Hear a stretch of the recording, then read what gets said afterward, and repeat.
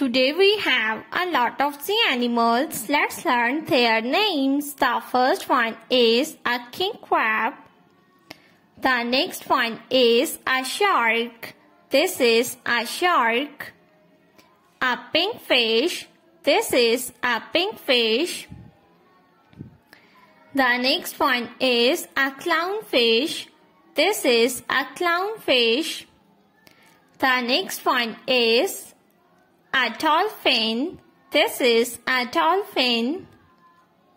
A dog. This is a dog. The next one is a shark. This is a shark. The next one is a turtle.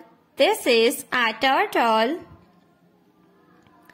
The next one is a sea lion. This is a sea lion. The next one is a whale. This is a blue whale. A lobster. This is a lobster. The next one is a blue tang. This is a blue tang.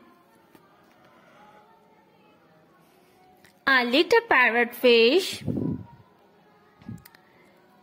This is a starfish.